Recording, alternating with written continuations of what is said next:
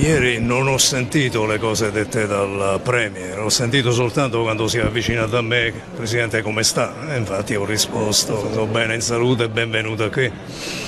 Ho appreso poi nel pomeriggio dai social della performance che era cominciata qualche metro prima, ma non avevo sentito sinceramente.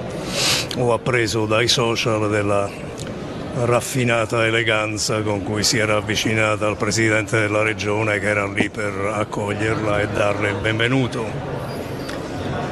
In ogni caso ho visto che ci ha tenuto la Meloni a comunicare la sua nuova e vera identità e, e noi non possiamo che concordare ovviamente.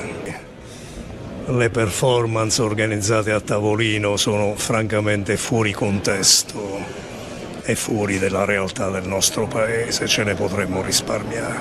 Ieri mi sarei aspettato innanzitutto una visita a Brescia,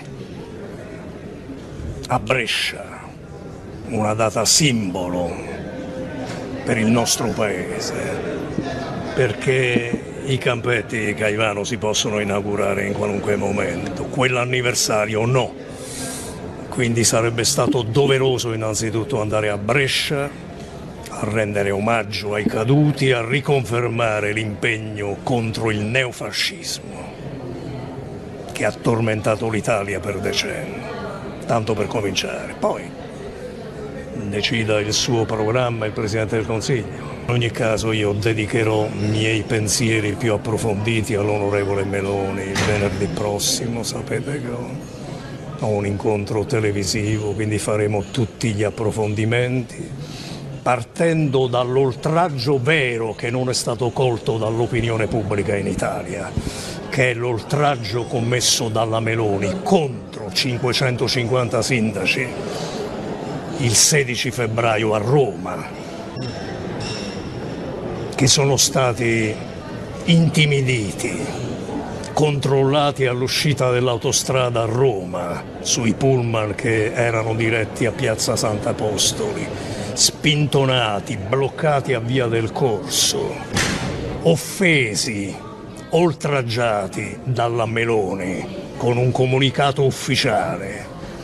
L'unico insulto che c'è stato nella vita politica di questo Paese è quel comunicato della Meloni che offendeva 550 sindaci che erano a Roma per protestare contro il blocco delle risorse e che combattevano per aprire i cantieri e creare lavoro. Ma l'opinione pubblica del nostro paese è interessata più del cabaret, delle parole, dei fuori onda, delle scemenze che delle questioni sostanziali. Il problema sostanziale è che allora è cominciata una deriva democratica nel nostro paese. Non si è mai visto un governo che oltraggia 550 sindaci, che chiude le porte dei ministeri, che se ne scappa e si rifiuta di ricevere anche una delegazione.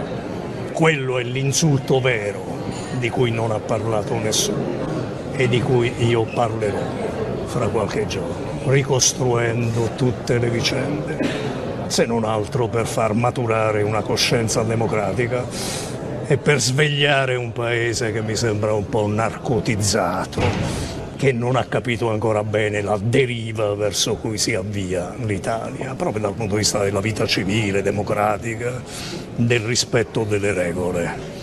Poi avrò il piacere di ripubblicare quella appunto di Silvio Berlusconi, dedicato all'onorevole Meloni, che mi pare una sintesi molto appropriata, diciamo.